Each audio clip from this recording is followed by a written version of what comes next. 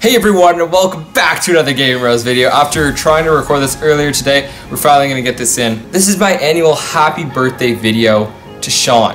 I've been thinking about this a lot.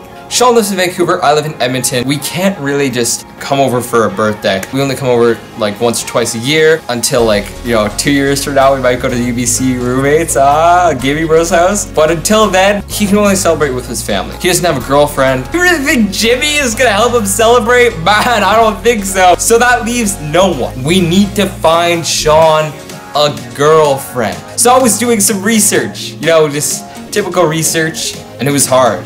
But what I did was I searched up before and after Odd Squad video because I know that almost 2 million people have watched this video before and I know that there has to be some girls that go, Sean, you're so hot.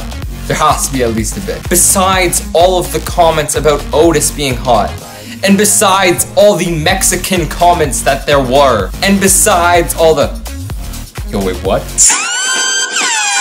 All the trashes to Otto that there were. Even there was even Oren comments. That's me, by the way, if you didn't know, saying that I look better than before. I found that people miss the old Odd Squad. Yeah, that was at least a bit something because you know Sean and I we're in the old Odd Squad.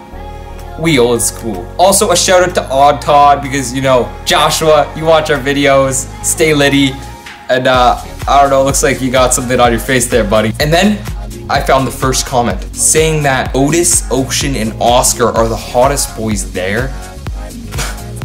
Boy, I gave that a fat dislike because they spelled Oren wrong. And then I found the gold mine.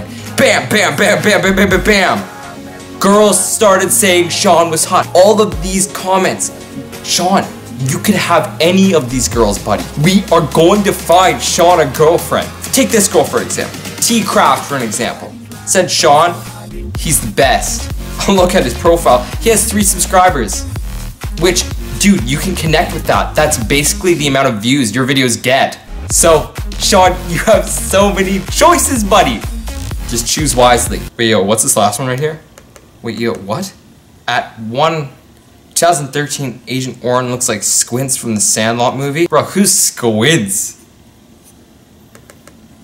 Wait, what the